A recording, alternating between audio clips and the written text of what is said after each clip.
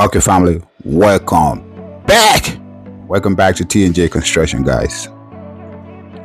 This is how our plastering or how a plastering of a house should look like. The finishing. Look at the edges, guys.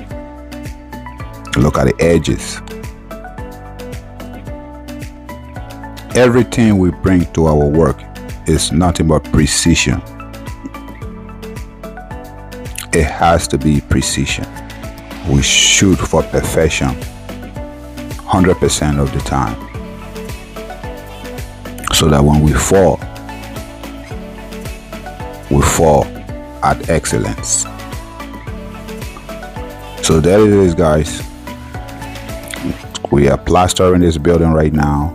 Kind of work. So just imagine if we put a primer on it and a paint. work. Just imagine how this is gonna come up. And this is Flawless not work. we are not wasting customer money by using POP fading on this wall. It's just plastering, cement and sand. Check it out, guys. Look at the edges. See for yourself.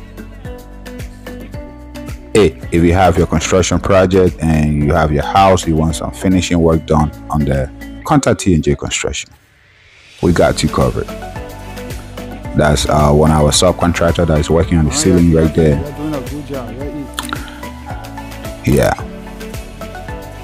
We already started to almost the entire ceiling through the house is almost done. The ceiling cursed, everything is almost done. So, but you're gonna see how the bad boy turn out when it's all said and done. But I just want to show you a little sample. Contact us for all of your construction projects in Mama Liberia. T&J Construction. Our number is on the screen.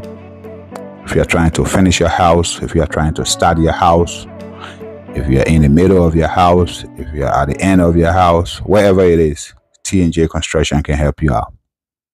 We have clients coming from all over just to see the work for themselves in person. All right.